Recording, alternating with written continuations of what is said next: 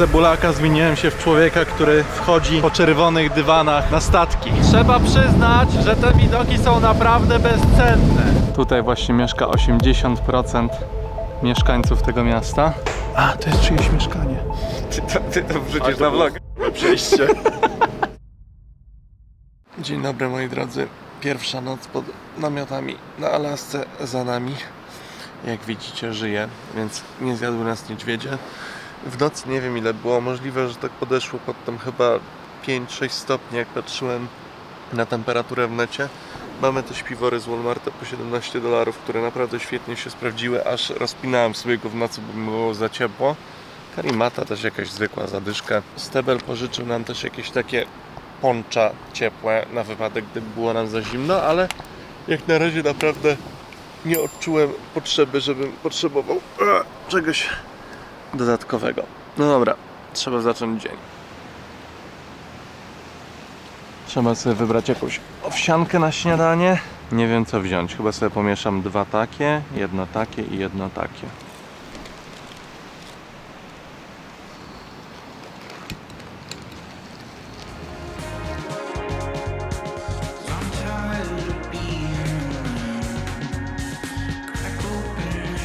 No i na śniadanie wjeżdżają cztery pakieciki owsianki na mleku. Wcale jej delikatnie nie przypaliłem, jak składałem namiot.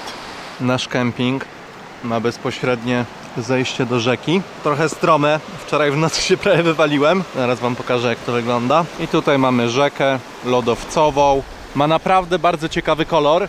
Nie wiem, czy kamera to odda, ale jak miałbym go do czegoś Wam porównać, to porównałbym go do szarych oczu.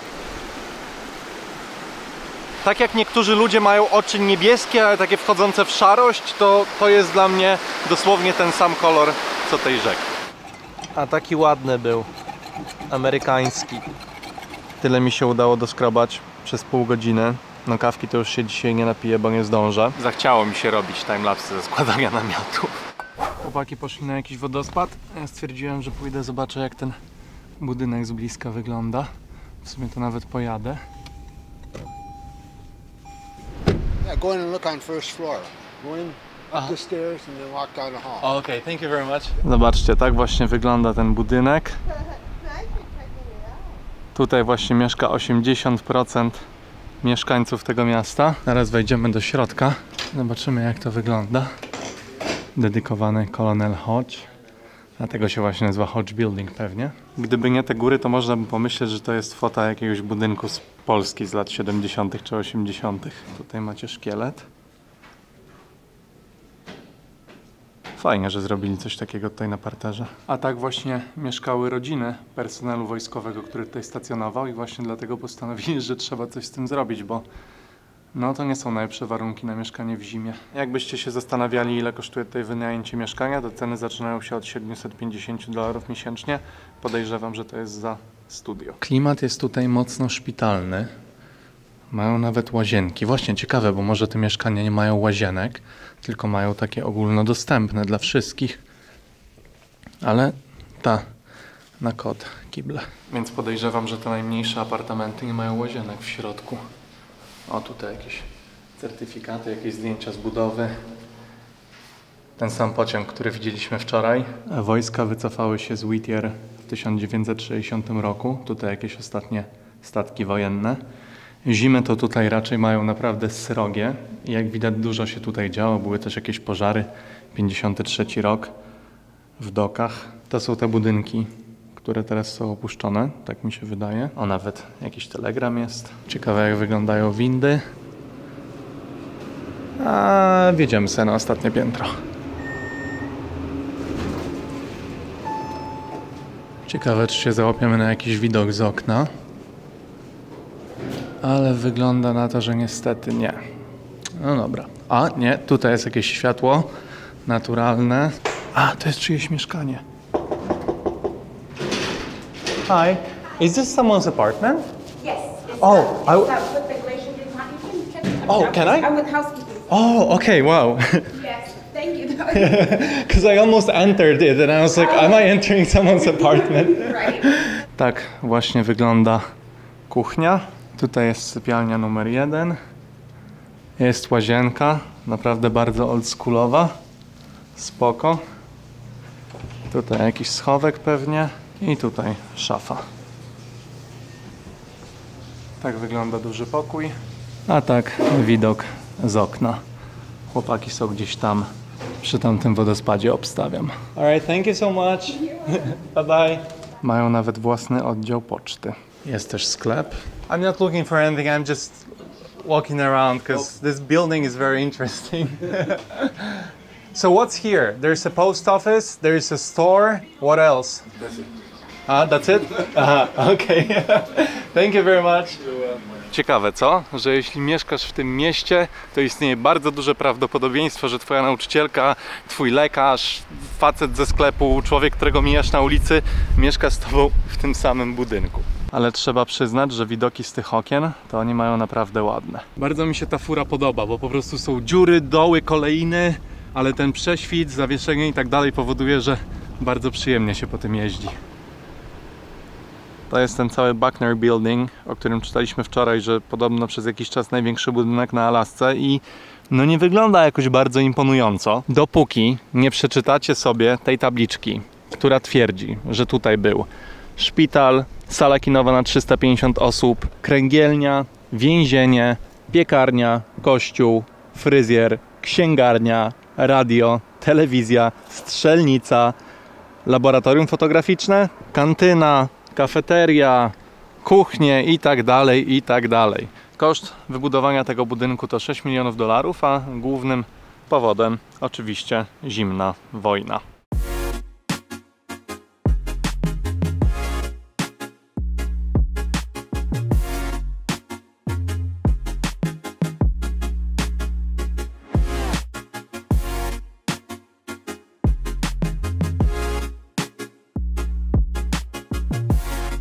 Nawet swoją lokalną policję. Ciekawe, gdzie jest komisariat. Może też w tamtym budynku. Robimy drugie podejście do tej kawiarni, która wczoraj była zamknięta.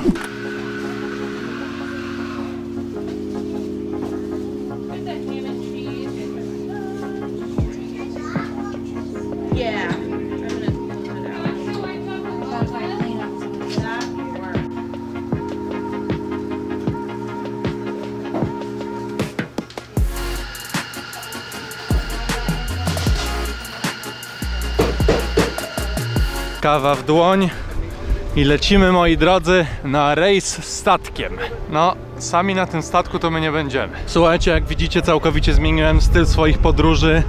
Z cebulaka zmieniłem się w człowieka, który wchodzi po czerwonych dywanach na statki. Nathan, co się z nami stało na tej Czuję się Alasce? jak na rozdaniu Oscar. Wygląda na to, że żeby załapać się na dobre miejsca, to trzeba było ustawić się w tej kolejce ładne kilka godzin temu. A tak, to będziemy siedzieć tutaj. Jak miejscóweczka? E, Super, Super. super, idealnie. Tutaj przy schodach lubię, wiesz, w miejscu, gdzie akurat wszyscy będą wchodzić, to możemy sobie popatrzeć na ludzi. Ale fajnie byłoby przy kiblu chyba, co? Lepiej przy kiblu. Na kiblu. Plan jest taki, że dzisiaj podczas 6-godzinnego rejsu mamy zobaczyć 26 lodowców.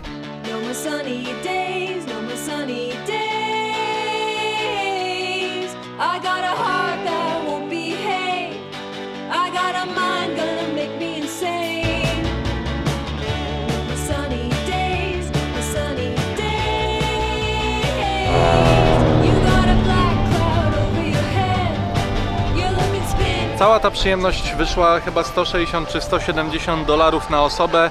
E, Sam rejs ma trwać 6,5 godziny, w cenę wliczony jest obiad. No i kurde, no jeżeli będziemy jechali, jechali, płynęli gdzieś 6,5 godziny w głąb Alaski, to mam nadzieję, że zobaczymy dzisiaj naprawdę przepiękne miejsca i liczę też na to, że zobaczymy trochę dzikich zwierząt, jakieś foki, nie foki i tak dalej. Wziąłem ze sobą ten obiektyw e, wąski, więc będę wam zoomował na ryjki fok, o ile jakieś będą. Natan pobił do mnie na górze i powiedział, że zarezerwował nowe miejscówki i od razu wiedziałem o które chodzi. Saria stok. Zgodnie ze spełnieniem moich marzeń udało się znaleźć miejsce zaraz przy kiblu. Oszukałem was, jednak 5,5 godziny trwa. Zamierzamy zrobić 160 mil. Tutaj macie listę zwierzaków, które być może dzisiaj zobaczymy, czyli jak widzicie jakieś lwy morskie, nawet czarne niedźwiedzie, wieloryby, orki. Spoko. Podszedłem do tematu mocno pragmatycznie i doszedłem do wniosku, że prawdopodobnie na początku nie będzie ciekawych widoków, więc siadam do edycji. Wjeżdża właśnie obiadek. Thank you very much. Jest i ta zupa chowder, co wczoraj jedliśmy. Ładnie pachnie. No i jakiś tam ser, Jakaś mama łyga. coś, żelki, sałatka, krakersy. Spoko. A jest chowder? Jest chowder. Tomek? Bo Masz chowder? Masz chowder?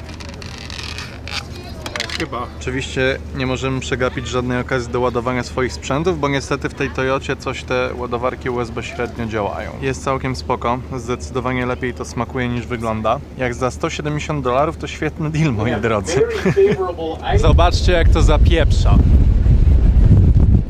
Tak bardzo wieje wiatr, że nie wiem czy nie będę musiał zdjąć mikrofonu, bo mi go zaraz urwie chyba. Zatrzymaliśmy się teraz przy jednym z lodowców. Nie wiem, czy mój aparat to odda, ale musicie mi uwierzyć, że ten lód jest po prostu dosłownie niebieski. W sensie czytałem wczoraj jakąś broszurkę, na której było napisane, że on jest niebieski, dlatego że jak pada na niego światło, to wszystkie inne barwy nie są przepuszczane, a przepuszczane są tylko te fale niebieskie. Więc to dlatego. I jeszcze te wodospady tutaj. Ciekaw jestem, czy będziemy świadkami degradacji, czy nie wiem jak to inaczej nazwać, jednego z tych lodowców, tak jak widzieliśmy to wczoraj, bo robi to naprawdę ogromne wrażenie, jak widzicie taki ogromny kawał lodu, który po prostu spada do wody. Co z jednej strony jest bardzo niesamowitym doświadczeniem i wspaniałym widokiem, a z drugiej strony troszeczkę przerażającym, jak się tyle słyszy o tym, że wiecie, robi się coraz cieplej u nas na planecie i te lodowce topnieją, widzi się te zdjęcia satelitarne, gdzie co dekadę tego lodowca jest coraz mniej i coraz mniej, a później można na własne oczy doświadczyć tego, jak to się po prostu dzieje. Co swoją drogą powoduje, że teraz zaczynam się zastanawiać, jaki wpływ ma masowa turystyka do takich miejsc na topnienie tych lodowców. Ale nie doszedłem do żadnych błyskotliwych wniosków, bo się na tym nie znam.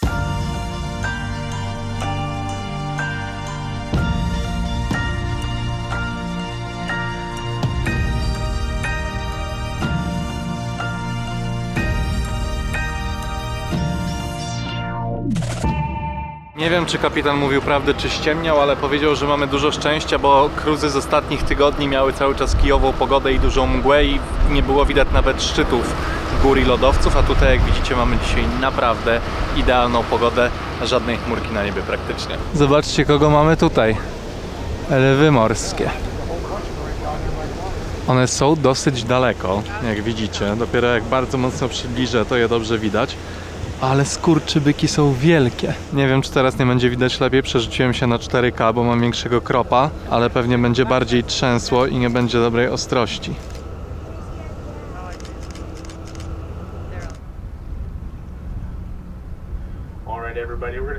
Kapitan powiedział właśnie, że na całą taką grupę przypada tylko jeden samiec, a reszta to samica.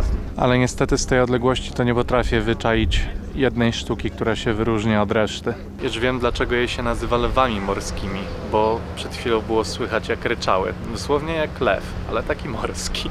Tutaj na ekranie możemy zobaczyć mapę oraz prędkość, z jaką się poruszamy. Teraz jest to 26-27 węzłów, ale taka przelotowa, jak patrzyłem, to około 31 32. A tutaj widzimy kutry rybackie, które się trudnią połowem łososia.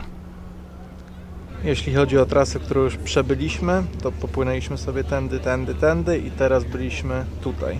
Egg Rocks. Na birolu, który się za chwilę pojawi, zwróćcie uwagę na to, ile łososi skacze z tej wody.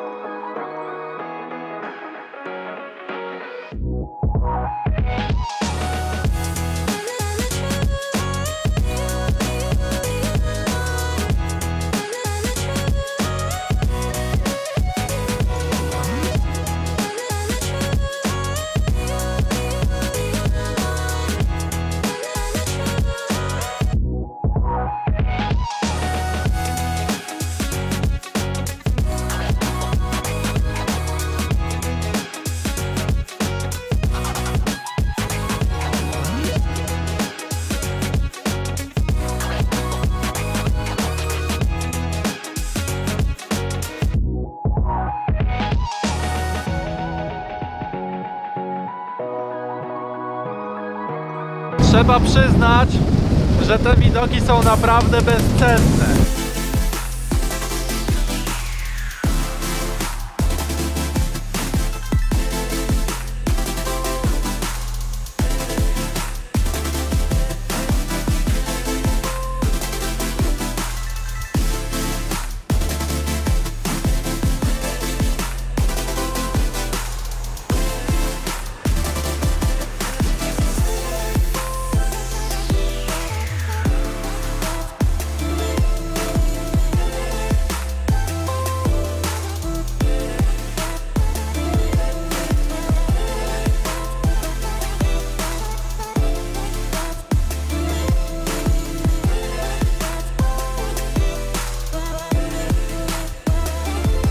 Dopiero teraz jak podpłynęliśmy z bliska widać jaki on jest ogromny. I co najciekawsze, pan kapitan powiedział, że to może być największy lodowiec jaki można tutaj zobaczyć, ponieważ w teorii największym jest lodowiec Kolumbia, ale on podobno od jakiegoś czasu się zmniejsza, a ten się powiększa. I jako przykład kapitan podał właśnie to, że ten lodowiec coraz bardziej nachodzi tutaj na linię drzew i linię lasu, wypychając ją w głąb lądu. Zaraz będziemy mieli powtórkę z Titanica. I bum, poszło. Ja myślałem, że te drinki w menu z lodem z lodowca to był żart, ale okazuje się, że nie, bo ekipa właśnie wyławia te kawałki lodu. Is this ice for cocktails? Więc widzicie, moi drodzy, reklamy nie kłamią. Jak miałbym ocenić, to wydaje mi się, że to ma wysokość około 7 metrów może i pamiętajcie, że 85% jest na zewnątrz, reszta jest na dole. Raz jeszcze polecam Wam zwrócić uwagę na kolor tej wody. Ona jest szarawa, tak samo jak ta, która płynęła dzisiaj w rzece obok naszego obozowiska. Jak widzicie, tutaj wygląda jak zwykły kawałek lodu, który się wcale nie mieni na niebiesko.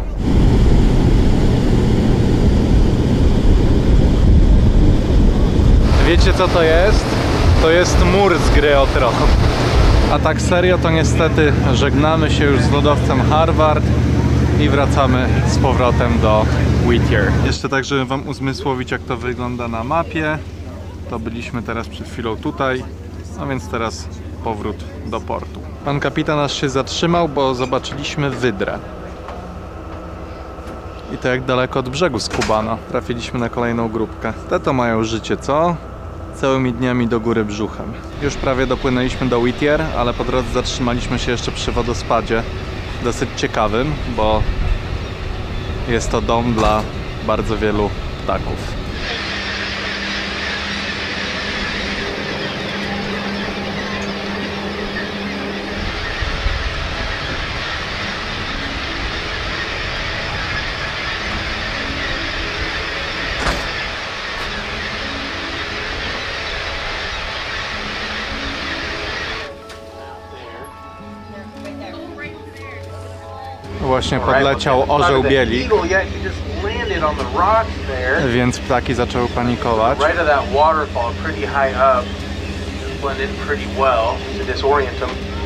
But it only works about half the time. Pan kapitan właśnie wytłumaczył, że to jest system obronny tych ptaków, żeby zdezorientować tego orła. Ale niesamowicie to wygląda. No i to by było na tyle, jeśli chodzi o nasz prawie 6-godzinny rejs statkiem. Natan, co myślisz? No, raz w życiu można, nie więcej. Ja też uważam, że było naprawdę bardzo spoko. Myślę, że prędko czegoś takiego bym nie powtórzył, aczkolwiek wydaje mi się, że jakby ścieli czas tego całego tripa o jakąś godzinę, półtorej, bo na pewnym etapie już się zatrzymywaliśmy w takich bezsensownych miejscach, bo wiecie, te widoki nam się opatrzyły przez te kilka godzin, więc jakby to ścieli, tak powiedzmy sobie do 4 godzin, może 4,5 i jeszcze zeszli trochę sceną w dół, to byłoby idealnie, a tak to jest ok. Same lodowce robiły naprawdę ogromne wrażenie, ale też z drugiej strony chyba większe wrażenie zrobił na mnie ten lodowiec, na który się wczoraj przeszliśmy, niż te wszystkie, na które dzisiaj popłynęliśmy, ale fajnie jest mieć po prostu e, jakieś dwie różne perspektywy. A teraz będziemy zmierzali do miejscowości Seward. Jakaś godzina 45 minut jazdy przed nami. Spytacie się pewnie po co tam jedziemy? Otóż odpowiedź brzmi, że tak na dobrą sprawę to nie wiem. Po prostu ktoś nam powiedział, że warto tam podjechać, więc czemu nie?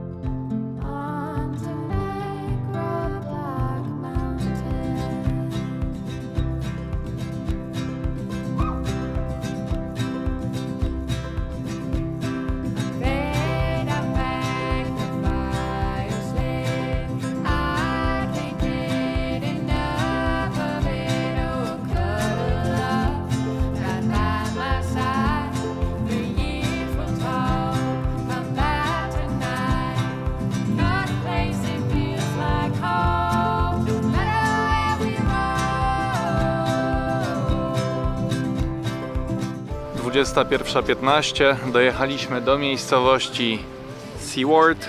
Idziemy właśnie tutaj do lokalnego browaru, zobaczyć co mają fajnego, albo i nie. Zamknięte? A, to jednak nie idziemy do lokalnego browaru zobaczyć co mają.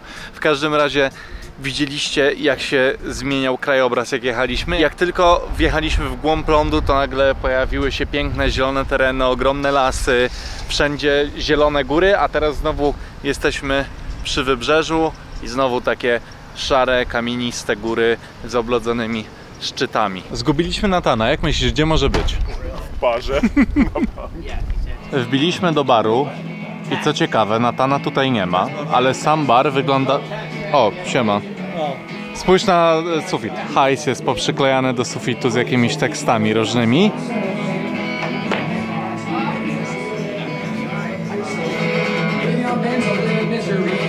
Musicie przyznać, że klimat to się wylewa z tego miejsca. Zdecydowanie zostajemy na piwko.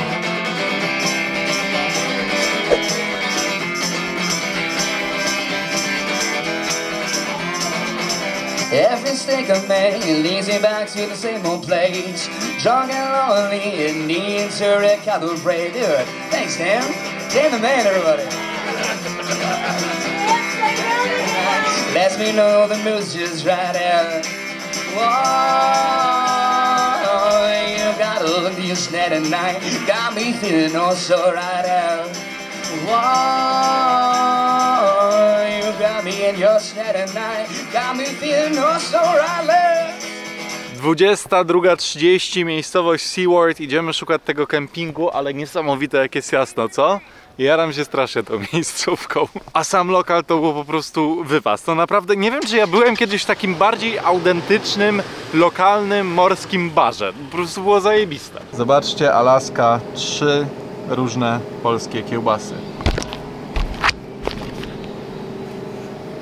Ty to, ty to wrzucisz na vloga. Przejście.